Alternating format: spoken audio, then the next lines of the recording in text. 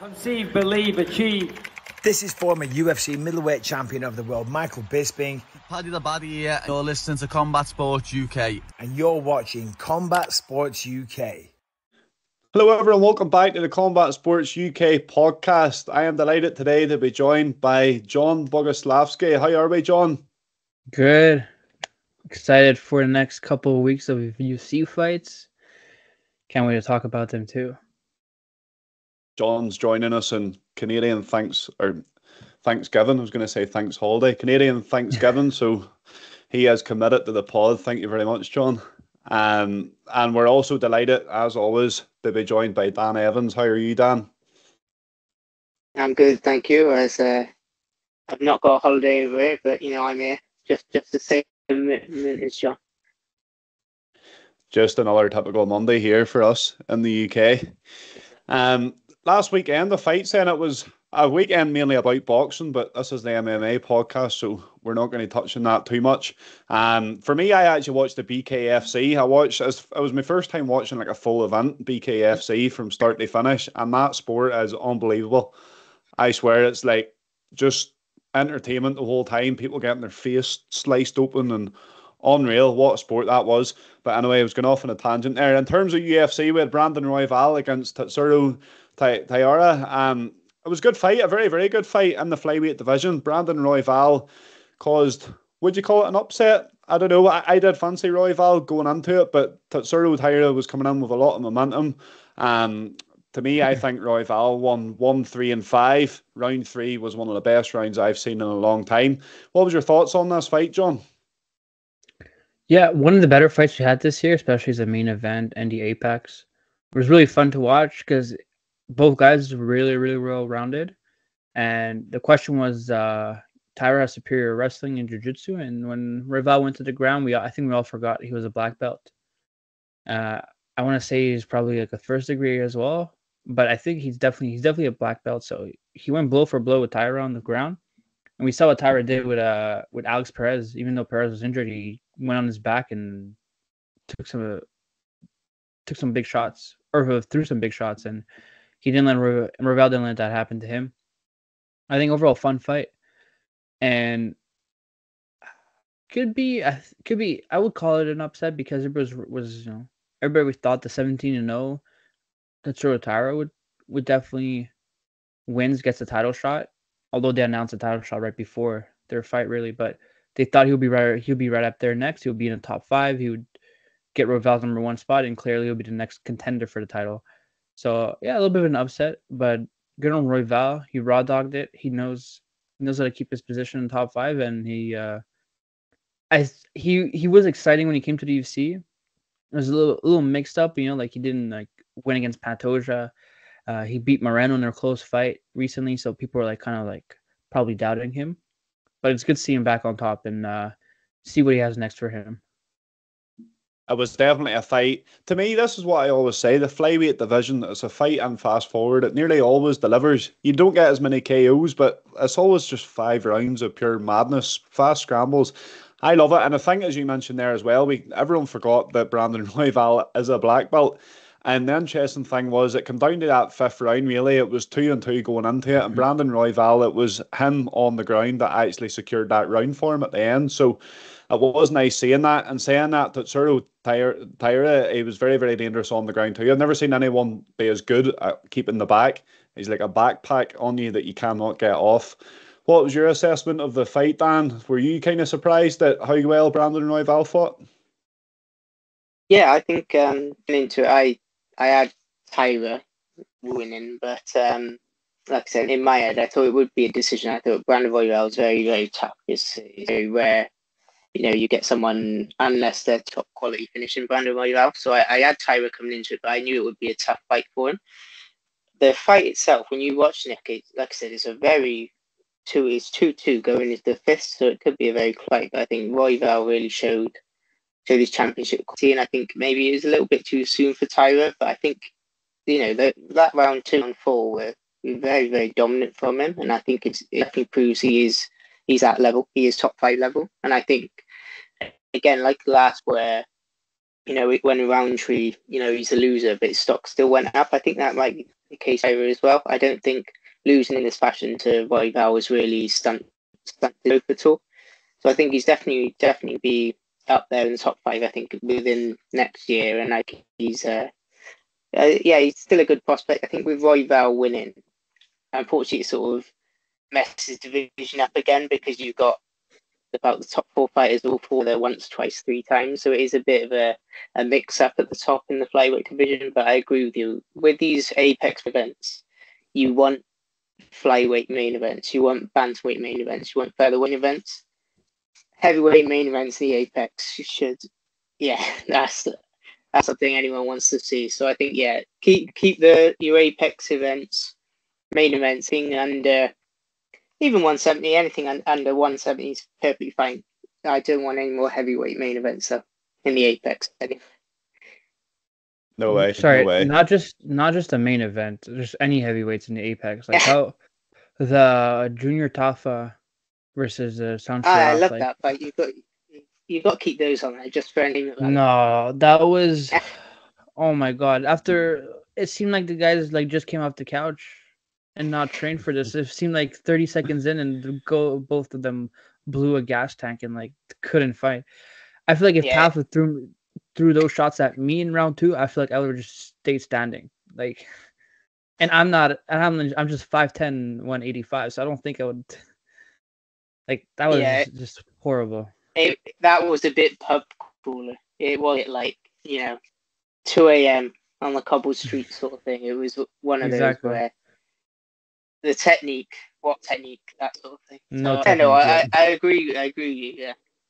No, it's always worth having one of those because you can see that you can see the contrast between Well and Taira and that fight. So you know, so it's a it's a nice nice range of styles. You a nice range of styles and a very big range of sizes, you could say. Um, so obviously, as you mentioned there, Dan, the flyweight title picture is getting pretty congested. You have Elmir Albazi taking on Brandon Moreno. Kai Kara France, of course, got the good win over Steve Erceg, and then there's a title fight at three ten, which we'll touch on just shortly. But What's next for Brandon Roy then after he picks up that win? Kai Kara France is there, but he's already beat him. What do you think, John? What what what fight's jumping out at you for him? I think I think Royval put him in the best position because he keeps his number one ranked, and he is the first person to to beat his matchup, right? Kind of because we have Moreno and Albazi coming up in two mm. weeks, and you see Edmonton, and he so. I think Royval kind of lied in his post-fight speech. He said he beat everybody in top five. He hasn't beaten Amir mm. Albazi. Am I correct? I don't think they ever fight fought each other. So there's no, there's never fought. never fought each other. Obviously, we have Royval uh, versus uh, Kayasura. What's his name? Kayasura? Trying to remember. Uh, Asakura. Kai Kai Asakura.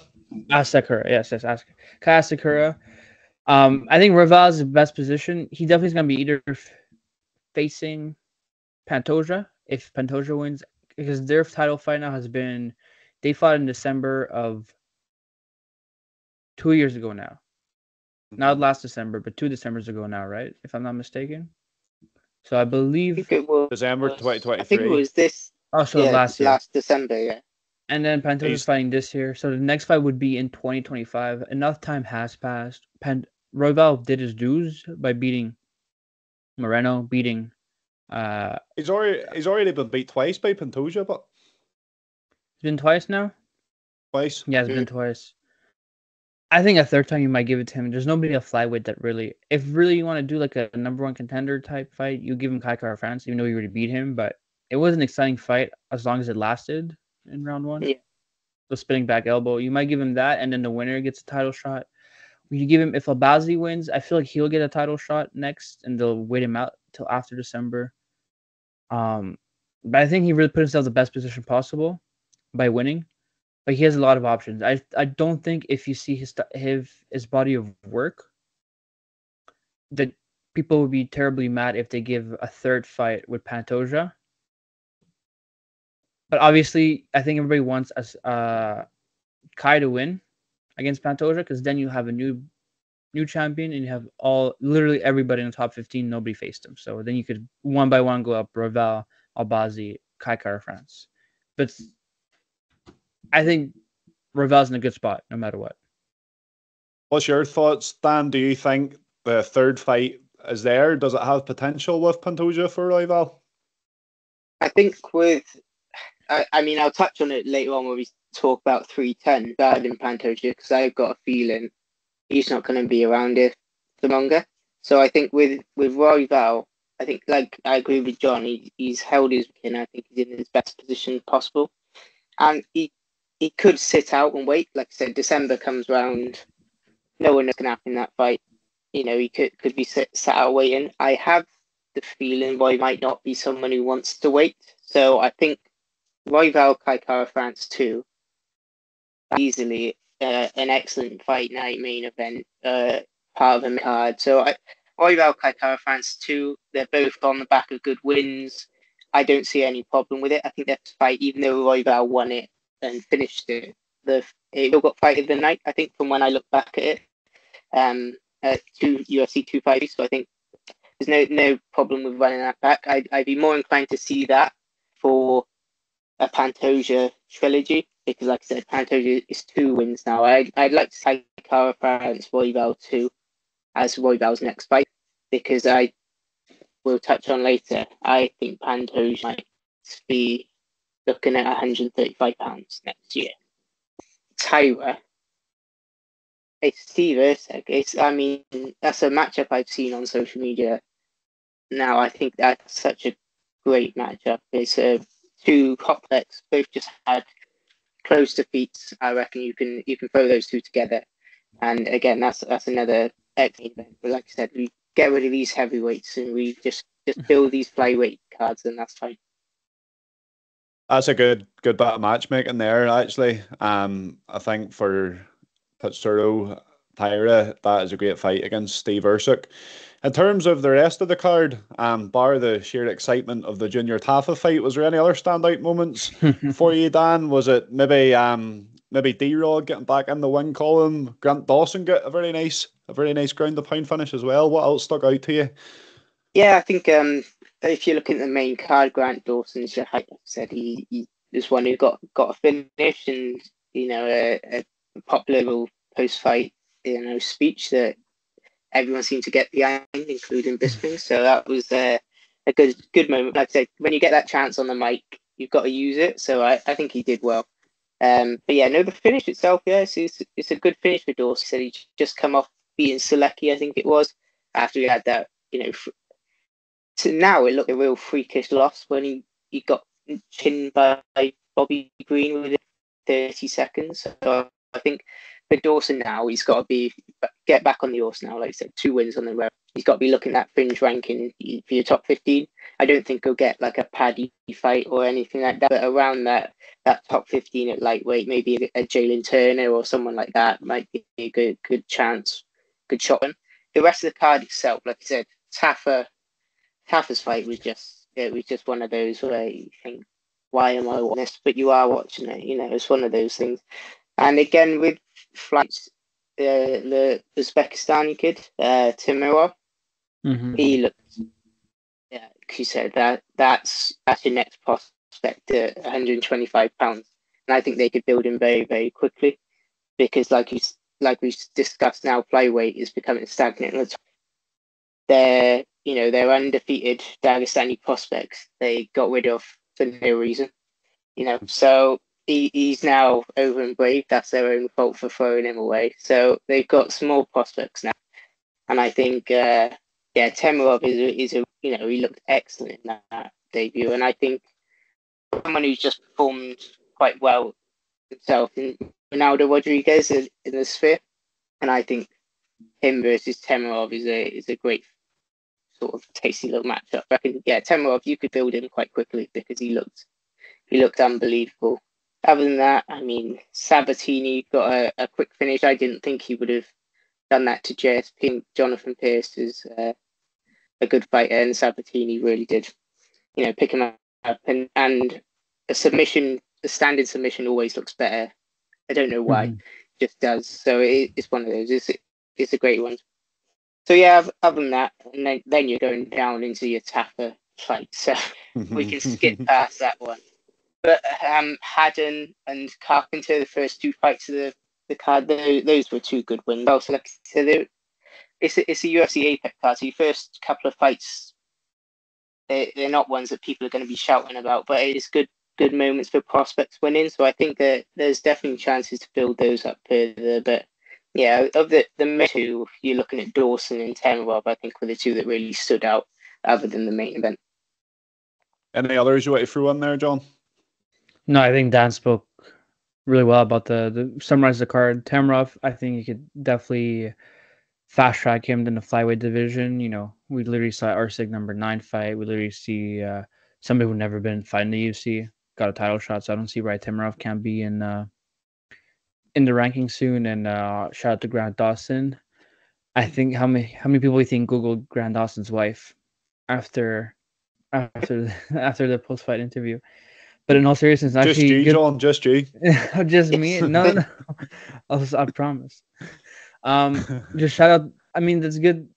Good on Grant Dawson. He has he's undefeated in the UFC with only one loss, and it's to Bobby Green with like just I guess a perfectly placed shot by Green. So I think, like Dan said, he's due for top fifteen. He's like in his prime now. Something get him top fifteen, right? Get him some, get him going in lightweight division. I think I feel like he'll have fun fights in there. For sure, for sure. So, some more big news that was announced just before the card took place on Saturday night was UFC 310 in um, Las Vegas, Nevada, is going to be happening in December time. Our main event, I was kind of surprised at how early they made this. Fair play to Belal Muhammad for defending, I suppose it's still six months or what is it? It would be mm. six months after, but for today's yeah. day and age, that is reasonably quick. So we've got uh, Belal Muhammad taking on Shavkat Rakhmonov this is one I am looking forward to, not because of Belal Muhammad, surely yep. because of Shavkat Rakhmonov. What's your thoughts on this one, John?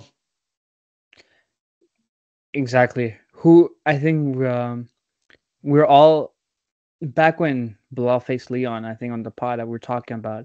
The only reason I'll be excited for his next fight, if it's next fight for the for Belal, is just because of his opponents. I just want to see Belal kind of lose. I just want to see him actually get challenged against someone who who will challenge him. And like Shavkat is a perfect challenge. 18 wins, 18 finishes, a great split down the middle of submissions and knockouts. The man can do it all. Shavkat is probably the most exciting fighter in this uh in this division right now. He is the boogeyman. I don't remember last time we got somebody who's up for the title who's undefeated with all finishes and I can't remember last time who was that. If there was even one last like that, this is a dangerous man. I think Shavkat also took enough time because in his last fight against Wonder Boy, he he uh had a broken he's bad ankle, didn't he? Bad ankle or a broken foot, broken toe, something like that, and he still came out and submitted submitted uh Wonder Boy. The fight before that, he submitted Geoff Neal on the standing up like Dan Dan likes to see, and an incredible fight because you literally saw Shavkat could take a punch, could return a punch, went to deep waters. the fight before that, Neil Magny. Neil Magny is like probably like the gatekeeper of a ranking for the for the for welterweight division, and he submitted him last second in the second round, I believe. So Shavkat is a dangerous man. I am really excited for this fight because I'm excited to see what Shavkat does. I'm just excited for a Shavkat fight and for to chance to win the belt. I'm not excited for Belal. Not at all for Belal. Here's one for you. Seen Belal fans, yes, they do exist on Twitter saying Shavkat Rakhmonov doesn't deserve this. How does how, how, how does beating Wonder Boy warrant a title shot? That is the maddest take I've ever heard. The guy's 18 and 0, as you said, John. 18 finishes he definitely deserves a title shot. Were you kind of surprised at how um, fast the turnover is from Belal Muhammad Dan? No, I think with the like I said, to be honest, the, the fight with Leon was boring. You know, let's not let's not go around that. It was. I was there, just silenced the crowd completely. Oh, I, I was. Don't worry, I was there as well, and it was a it was a horrible six a.m. walk back. So that was a that was a not a great way to end the night. But yeah, with with Belal, like I said, it, it was boring fight, but he did what he needed to do to win. So all credit. What damage did he take in that fight? Really, like there was nothing, nothing severe at all. So I, I think the turnaround is nice. Like I said, I would have been surprised if he hadn't defended uh, before the end of the year. But to be honest, I think with the UFC, they they needed him to step in on this three ten card because I think the rest of the divisions you're looking very very much like there there wouldn't be another fight for the rest of the year. So I think it had to be Belal, but they needed someone because Belal cannot support a, a UFC pay per view on his own, no matter if his opponent is Shavkat Rakhmonov. I'm, it's, it's just facts, I'm afraid. So, uh, sorry to the Belal fans that do exist somewhere. Um, but yeah, that's why I think they were waiting for the Pantoja Asakura fight to get made and, and add that onto it because that adds in the the excitement to it. But no, I think I think for Blau it, it's a needed turnaround. And look, uh, I'll be there when Shavkat submits in the first round. But you know, so, yeah, we can we can all hope for things. But no, I I think again I agree with John. I'm excited for this because of Shat, not for Belal. Again, Belal's probably a nice guy, but he's been getting on Twitter by Ilia, Conor, Hmm. and everyone else. So I think he's uh, he's not had a great week. But hey, look, I'm sure I'm sure it'll be be for UFC 310 to put in the best performance he, he can. To give Belal his, his credit, he's never had an easy time. He's never been a fan favourite. He's been the decision heavy fighter that no one really wanted to see get the title. But see that morning, I was going to say that night, but that very early morning in Manchester, he absolutely ragdolled Leon Edwards. I did not see that coming. He was like, done what Kobe Covington, Colby Covington couldn't do. He done what Kamaru Usman couldn't do, which just shows the levels that he is at. Um, so I'm going to pick a Shavkat win on that one, but I'm not going to back out of Belal Muhammad too much because he really did surprise me. So you kind of touched on it there, Dan. We've got another title fight on this card. This is a really strange one. This is a strange one. When Kai Asakura signed for the UFC a couple of months ago, there was one saying it was the biggest signing the UFC had ever made, and that was a pretty big statement. Um, but it looks like the UFC also agrees this. This is the first time they've gave someone a title shot in their debut since Holly Holm in 2015, and before that it was 2013 with Ronda Rousey and Gilbert Melendez. He's a massive star at Rizin. I have to credit the MMA guru for this because I watched the video one that he brought out whenever he signed, and he was looking at the views this guy's getting on YouTube. This guy is getting like between five and eight million views, or five and ten million views on normal fights in Rizin, selling out stadiums. And he's got his own YouTube channel, which gets millions and millions of views as well. So this guy is huge. The UFC know exactly what they're doing here. At the time they signed him, Tatsuro Taira was main eventing against Perez and that's when they announced the signing. So the fans in Japan see he signed. Go and check what's happening in the UFC. Tatsuro Taira, another Japanese guy, is main eventing, and the same things happened here. So they've announced the card. UFC 310 announced that he's getting a title shot just before Tatsuro Taira main events again. So they're really trying to target this this and it's what Dana's been saying for ages. They're trying to bring in a more global fan base now. They're they're looking at other parts of the country that they maybe haven't been as exposed to, and that's definitely what they're doing with Japan. Were you surprised at this immediate title shot for Kai Asakura, John? Yes. As someone who doesn't follow Rizin, who, you know, partially follows Bellator slash PFL, who kind of watches one here and there, and Rizin's purely Japanese. Am I wrong? Purely Japanese company. I think so. I didn't know anything about him until he signed. Exactly. I think once I heard they signed him back in April, I think I saw a few of his highlights. Um, and I kind of just like, but I kind of glanced over it. I'm like, oh, they signed another flyweight. He look, looks like a good prospect. He, you know, you look at his record. He's uh, he's 21 and four, a few finishes. He lost recently, like a few fights ago, and you're like, okay, let's see what he does. But I'm I'm surprised. It's very un- unconventional for the UFC to do this. Uh, to throw in a title show, like you said, it was Holly Holm, Ronda Rousey, Ronda, uh, Ronda Rousey. That was because the women division didn't have a division really. It was just like free for all. It was like kind of throwing in the name and then like kind of crazy still that this is happening. And especially after another Japanese fighter. So I think they're trying to set up a set up something there. You know, Dana's been trying to travel everywhere in the world. Uh, Asia has not been a popular target. Be going there, especially they're just going now to Macau in a few few weeks.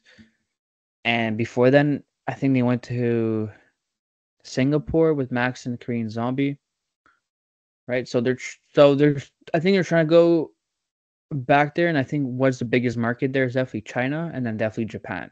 And I know Japan was crazy, especially back in the days of um, what was it called before the UFC, where you could do head kicks on the floor. You guys remember what the name is? I'm not old enough, John. Oh, Oh, Rogan talks about it all the time Pride. too.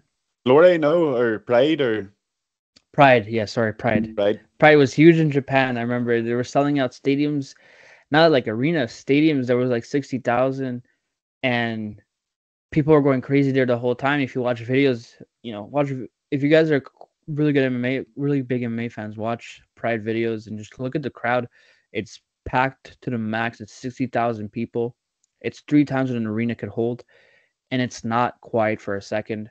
You've seen clips of it for sure of some old fighters there. Watch some, watch some. So I think they're trying to go back to Japan, and I I think this will be really good for for Japanese fans and trying to go back there. Overall, just surprises. Kai Asakura gets a title shot. It's very conventional from UC. I think I agree with you, Brandon. If you are if you tell me the numbers are correct with his how many millions of viewers he's getting, just on his YouTube channel, probably his Instagram too, UC probably is no does know what they're doing with this. Uh, I think it's definitely a targeted move from them. What's your thoughts on it, Dan? Did you know Kai Asakura before it was announced from the UFC? And it just kind of shows you as well. There's there's always these kind of gaps that you don't know what's happening because this is a guy that's a global star in one country in mixed martial arts, like a huge, huge star. And it seems like the Western fans or the European fans, like us, didn't didn't know anything about him. So, what what was your thoughts on the whole situation, Dan?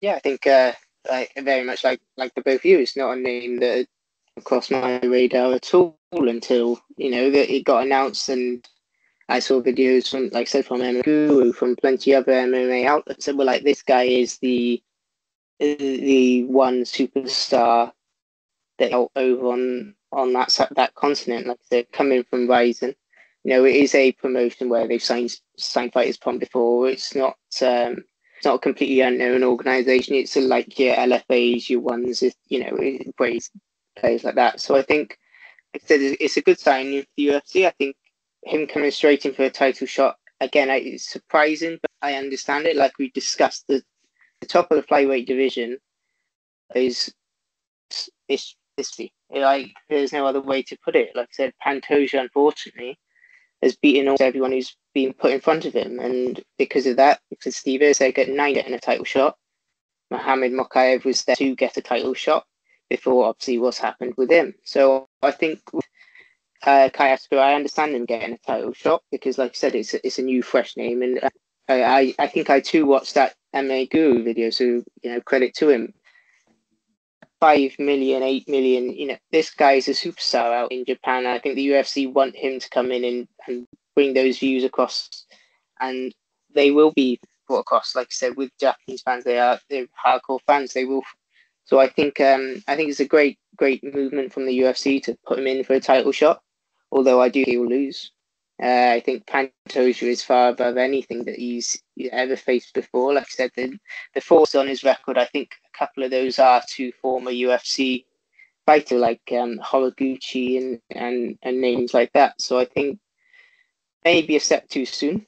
Like I said, putting him straight in for a title shot, I think he may get found out. I don't think he's ever fought over five rounds at all, and I know that Pantoja can fight for five rounds consistently. So I think a step too soon. I, you know, uh, December is a few months away, but uh, I will be thinking Pantoja will be retaining his title. the fact that it is someone relatively unknown to UFC fans, the fact that his first fight or his debut as a title shot, to me that adds a real good bit of excitement to this fight because it's like going into the unexpected. You can go back and watch his Rizin fights, and there's different rules and everything. I think some of the finishes he got was through rules that's not allowed in the UFC. So it's going to be completely different for him. We won't have seen him in this environment in front of a big crowd. Well, he has fought in front of big crowds, probably bigger crowds than what's going to be there. But the, in terms of the global audience, we, we we haven't seen him. Do you think this adds like a different level of excitement to the fight, John? Yes, because it brings in like a level of unknown to this. Uh, you know, like we're we're talking about him, yet we've never seen him fight. Mm. And it's not very often that happens. No, not rarely, right? We always you're, we're, we're always aware of somebody fighting, and we've seen him either like in a rare case, if he is in the main card, we see him in a prelim or early prelim some other day, and then he's fighting in the main card. We see him in a contender series. We might have seen clips of him on TUF. Might have seen him on TUF. But like we're all three of us sitting here, we have no but we've seen highlights, we've seen clips of him, you know, but we don't we don't know how he fights. We don't know. I would be I'm hesitant to do my prediction on Pantoja and him because I don't know who he is. I don't know how he fights. Is he and Pantoja's been through a lot. He's 35, I believe. He's taking some shots. I don't know how uh, Kai has been doing it. So it's definitely this level of unknown and curiosity, I think, that will bring the fans to watch this. And I think people are going to be. You have to. I think he has to have a good first impression with the fans. He sucks. People are going to turn on him. He's good. He's going to be exciting. People will love him, and his second fight will be even bigger there's a hell of a lot of pressure for him coming in this one, and you have to take your hat off. That's a ballsy move straight into a title shot. No one's ever going to turn that down, but it's yep. a ballsy move nonetheless. You know, he he could have been put in with a with a Petr Yan or someone further down the rankings, maybe a ten to fifteen, feel his way into the organisation, but he's not doing that. He's going straight in. So I love to see it. I'm excited for it. I'm excited for it. It's a change, and as we said, it's very, very rare that you get an opportunity. They see someone fighting. It's first time you've watched them fight, and it's for the UFC title. So the other two fights on this card, I didn't get as they're they're good fights. I didn't get as excited because they were fights that we thought we were having on other cards, but they were obviously postponed. We'll kick off with Ciryl Gane taking on Volkov. This is a really good one. Could potentially clear up to contendership behind Tom Aspinall in the heavyweight division. What's your thoughts on this one, Dan? Yeah, I think it's a fight that was very much needed, and it's the right fight to make. Ciryl Gane is, uh, you know, he he's been in and around the top of the division now for some time. Whether that's been fighting or sitting out, it, it's been off with with Ciryl Gane when he is when Ciryl Gane is on, when he is performing, you get fights like you did with UFC with Tai Tuivasa.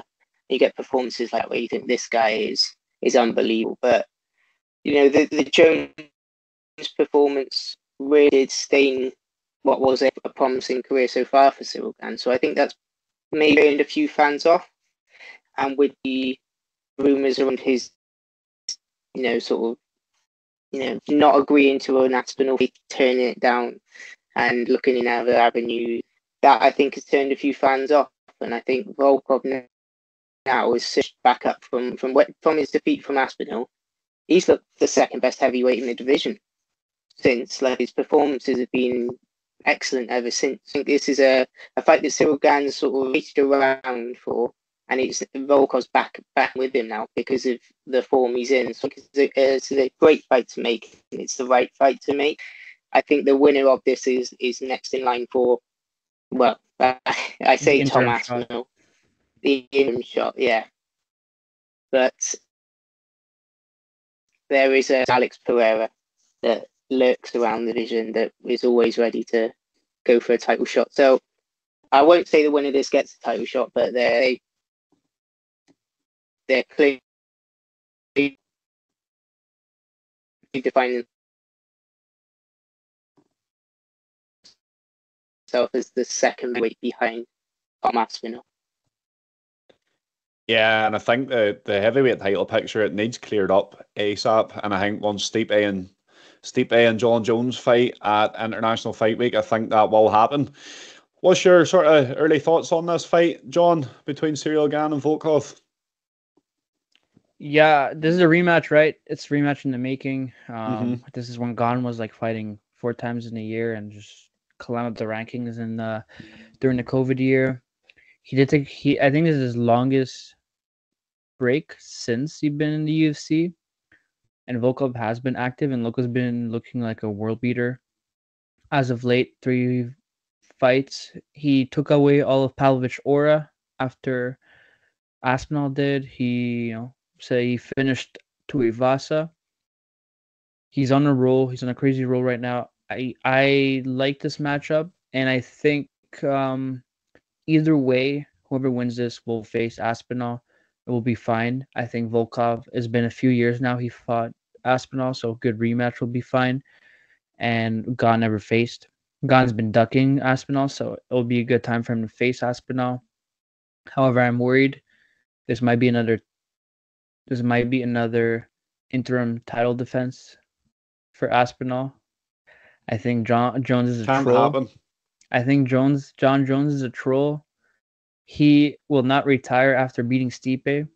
He will face Pereira, and he's gonna force Aspinall to defend his interim title shot again, and then retire after beating Pereira. should Tom Aspinall have to do that, right?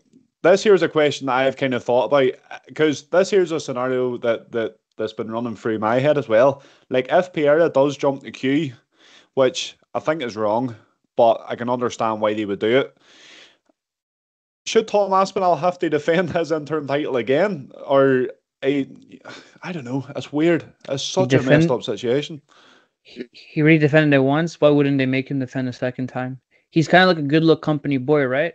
But Pereira's a star, and Jones is like pound for pound greatest of all time. So if they, I don't. If Pereira's like give me Jones and Jones give me Pereira, I don't see why Dana White would not just roll around in money and give it to them. And then It's definitely. It could happen. It could happen. It would be sickening as a as a huge Tom Aspinall fan. It would be completely sickening, and you know, Tom Aspinall. He's a patient guy and he's a company guy, but is he really that patient? Having to defend an interim title twice just to stay active. so. But then you'll fight uh then you'll have uh the infamous Gane versus Aspinall matchup, France versus England. But it'll be for the But then, interim. But then, what the UFC has to think about as well is you need contenders for Aspinall whenever he does have the title. Yeah. Junior Tafa fought this weekend. There you go. No, we're not doing this. we're not. I I think Tom Aspinall, if if they skip the queue, he might as well see his, his belt in the bin and just go go across the pond and go to Saudi Arabia to fight a man in this weekend because they'll make more money there. Like I said, if they, if, if I'm Tom Aspinall, taking the piss out of me a bit, aren't he?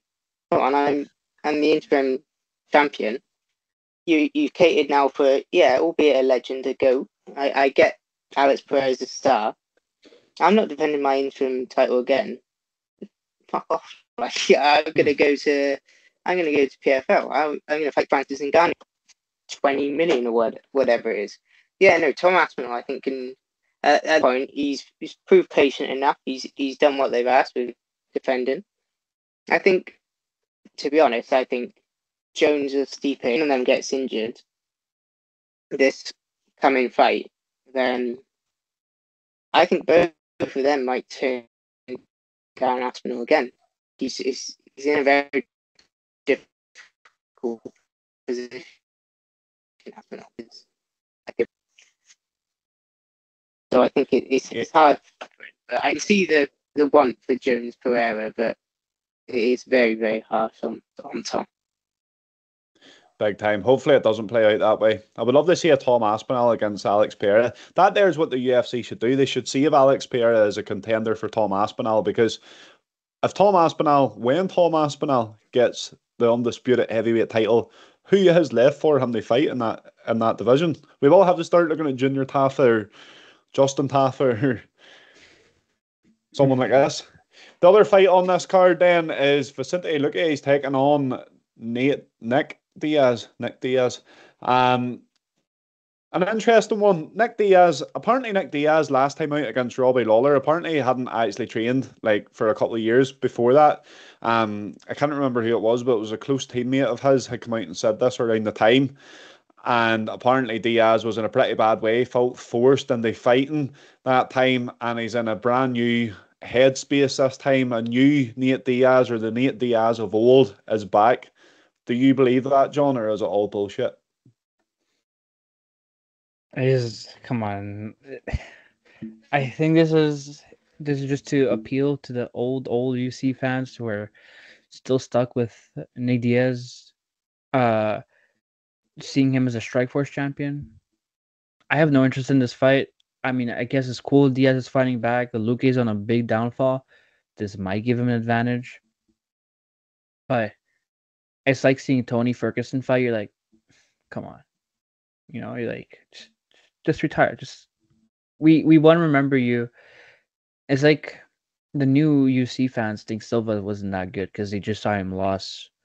Was it five in a row? You know, beat lose against Uriah Hall, who got cut right after was season boxing. They're doing the same thing to him. The, the new UC fans will be arguing with old UC fans, like probably OG ones, and be like, Diaz was eh, ain't shit, and we're like, buddy, you, you just watched him at the end tail of his career when he's not even supposed to be fighting. I mean, if Diaz comes out there and becomes a world beater, beats the break off Luque, gets a gets a classic Diaz performance, I guess, but I don't see that happening. We literally saw Diaz against Robbie Lawler a few years ago, and he quit halfway through second round, really. So, um, I don't know. I don't know. I just I'm not too excited for this fight. This is probably the least exciting fight on this card. Uh, will I watch it? Obviously, but it just uh, just not a not something you want to see Nick Diaz fight in 2024. I I agree with you. I agree, and it's a very very tough fight for him. It's not as if it's like a legacy matchup or a le- legends right. matchup. Vicente Luque, he's got some great wins. He's got power. He's got he's got what I think is enough. They definitely beat Nick Diaz. What's your thoughts on it, Dan? Do you think this is a tough matchup for Diaz? Yeah, because um, I I kind of agree with Jon. It's uh, it's one of those I'm not really that, that keen on seeing. To be honest, if you Nick Diaz is one forty year old, he's, he's a legend of the game. He, he is that Robbie Lawler performance might be this time I myself as a, as a newer UFC fan have, have watched him perform, you know, live, and I, you know, I I've seen all the clips of Nick Diaz, and he looked nothing like this. You know, this guy here who, who like Jon said, quit second round. So if it's a Nick Diaz that's trained, apparently that he hadn't in the last one, if if it's a Nick Diaz that's in shape, then yeah, it's going to be a good fight. But it's not a fight that really does anything for either of them. If Luque goes out and smashes up an old Nick Diaz, what does that do for him then? If if Diaz does go out and win against hmm. Luque, you're not going to see a you know a surge for the title for for Nick Diaz. Nick Diaz would get pieced up by if you were looking at 170. Kim Buckley pieces him up, Sean Brady pieces him up, Ian Garry definitely pieces him up, MVP probably even pieces up. So I think it's uh, it's, like I said, it's not something I'm very excited for. Uh, but again, as I'll watch it, it's Nick Diaz. He's always hopefully going to be entertaining. Uh, but yeah, no, it's definitely a difficult matchup for him. I would have preferred something like you mentioned, Brandon, about a legacy or something.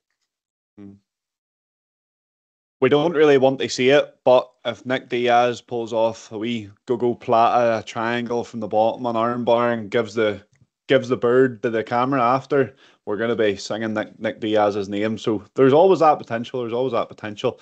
Moving swiftly away from the UFC, I'm looking forward to the PFL in Saudi Arabia this weekend. Then it's the Battle of the Giants. Francis Ngannou taking on Renan Ferreira. This is a good fight what I want to mention first is Paul Hughes is opening this card, a massive, massive opportunity. He lives like 30 minutes away from me. I've watched his career throughout, and this is a big, big opportunity for him. He's opening the main card against AJ McKee. It's the first time, it's maybe the first time ever Paul Hughes is coming in as an underdog, or it's the first time in a long time anyway. So I'm really, really excited to see that. I've been watching his vlogs, and he seems to be getting stuck in. So fingers crossed, Paul Hughes gets a win. What's your thoughts on the main event this weekend, Jon? I think it's a pretty cool matchup. You know, PFL doesn't do good usually, and I think AJ McKee's probably their biggest star, other than like Ngannou for sure. But you know, Ngannou can only fight one weight class. Adrian McKee, we saw him fight featherweight, lightweight.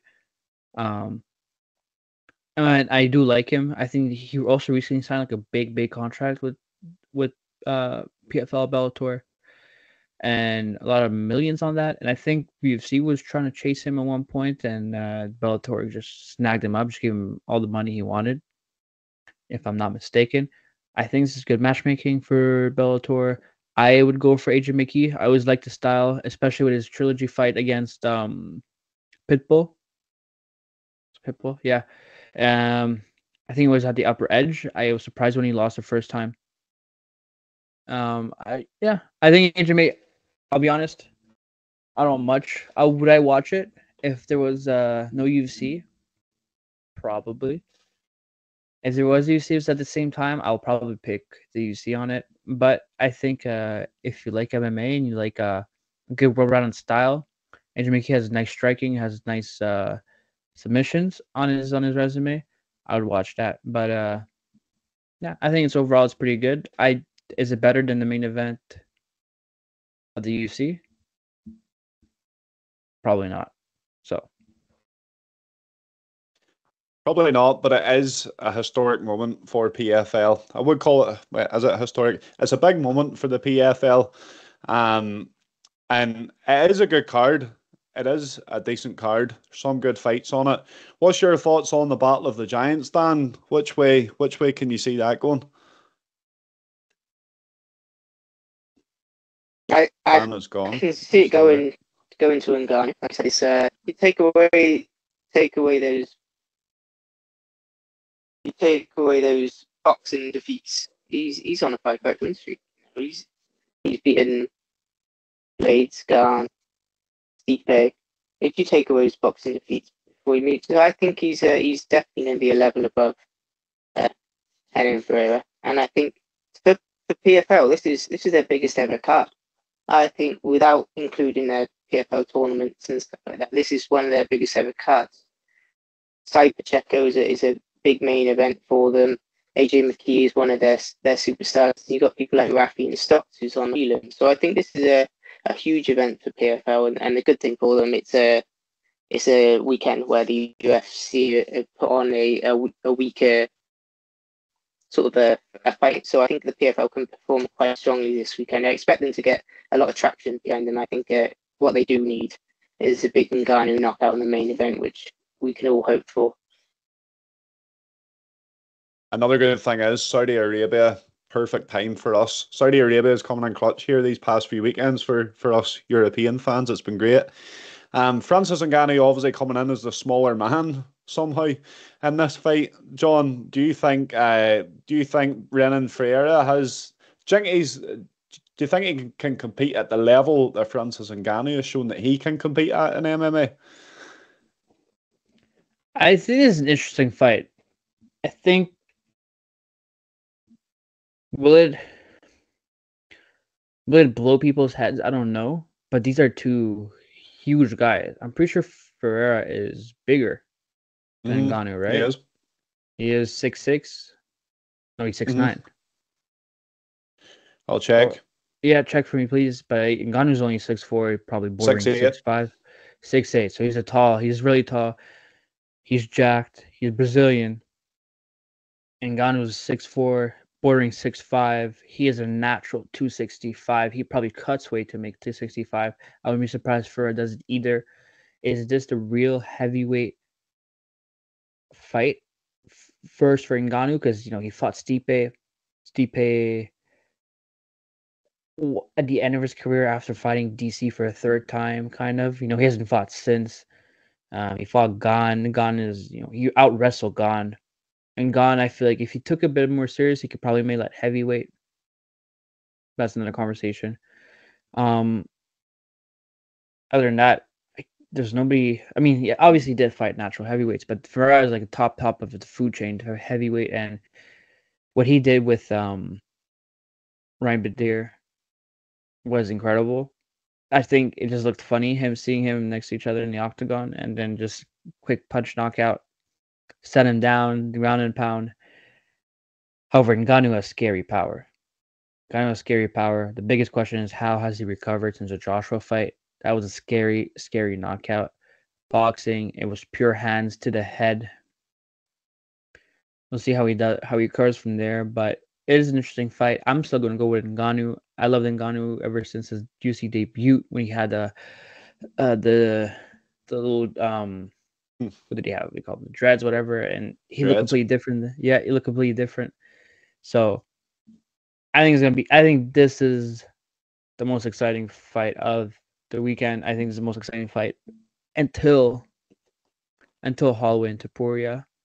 And even then, there's nothing to compare. Would you rather fight see Ngannou versus Ferreira or Jones versus Stipe? Old men fight or exciting tall heavyweights?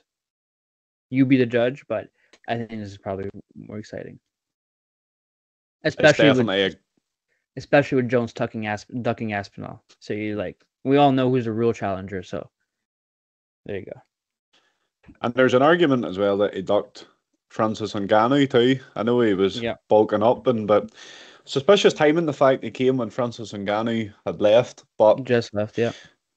just left. So that there's a fight. You know, like I know we're never going to see it now, but that's a fight I really wish we seen Francis Ngannou against Jon Jones. You know that if one of them had the other on their record, what that does for their legacy is incredible. If you had to give us a prediction for the Battle of the Giants, Dan, who are you going for? I'm gonna go. Yeah, I'll go with Ngannou. Like you said, I I trust his MMA resume, and like you said, he's he's definitely been a level above Ferreira, and I think he I think he can get him out there. It's Francis Ngannou. He can anyone out. He could, he could Francis Ngannou could knock out a brick wall. He's he's got that power. So I think that you're looking round one. Round one. I I think let's let's go all out. First, not no. I nearly said first punch. Then that's not you. Yeah, first round. Francis Ngannou KO. It gets on the mic. You know, he dedicates it to obviously the the harrowing loss that he had this year, and in sensational fashion this weekend. Yeah, and I think the fact that he has went through that, he's been saying himself that it's you know it's it's unleashed an inner beast with inside him, and very very understandable, obviously that that that that is the case. And fair play to him for getting back out so soon after as well, because I thought whenever that happened, right, that will be we'll not see Ngannou now for a, for for a few years. So credit to him for for being able to, to go out there and hopefully it does put on a show. What's your official prediction, Jon? Give us something more accurate than an Ngannou win. Is this going the distance? The, there's there's no way this is going the distance. These, two heavy hitters. What do you think? Yeah, I just want to. Yeah, I forgot about Ngannou losing his son there, and I think props to him coming back, giving getting the motivation to do it. Absolutely, round one finish, knockout, clay, clean KO, whatever. How, and I'm just Ferreira is going to sleep over two and a half, over two and a half minutes. Sorry, over a half half a round, but Ferreira Ferreira is going to sleep. I don't know if uh, Mystic Dan Evans might want to jump in on this, but I think definitely. Um, Look, every, everyone's pinning me off as a gambling addict. Uh, that's not the case. Like, no, I, w- I won't be sprinkling on this. And you still haven't answered my last DMs for the last weekend. Didn't you win? you didn't you bet on Roy Valley and didn't tell me? Uh, no comment. No comment. We'll, we'll move on. But anyways, uh, yeah, I think Ngannou has a lot of motivation on this. He has the smaller gloves this time. He's not have doesn't have the boxing gloves. It's gonna be something of a uh, familiarity for him going back in a cage, you know, whatever they call it, the smart circle, the octagon. Um, it's familiarity, smaller gloves, different shorts, no shoes. You know, similarity is going to go back to him. Is going back to his roots. He wants to do a big performance and got a first round knockout. I'll make that a hat trick of Ngannou first round knockouts. I'm looking forward to seeing him back in there in in the octagon and back in the four ounce gloves. That's where he truly belongs, in my in my opinion. So that brings us to an end of today's podcast. Thank you very much for tuning in. We'll have the UFC 308 review or preview next weekend. This, in my opinion, Max Holloway and Topuria is the most exciting fight the UFC can make at the moment. There's a lot of shit talk going into there. Topuria's mm-hmm. bought a BMF belt specially for it. we are in for an absolute banging fight. Dan and John will be the ones breaking it down. I am off on holiday, so I will not be here for it, but I'll definitely be tuning in the, the card in Saudi Arabia next Saturday. And just before Cheers, I go, man. make sure like, share, and subscribe, and follow the Twitter, follow the Instagram. Some big interviews coming out on or on Instagram and YouTube and things like this. Combat Sports UK is on all social media, so make sure and check us out for all your latest combat sports news and gossip. Cheers. Thank you for listening. Cheers, everybody.